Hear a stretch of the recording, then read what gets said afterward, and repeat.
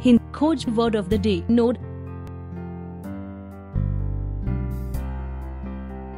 note का हिंदी में मतलब सम्मति होता है।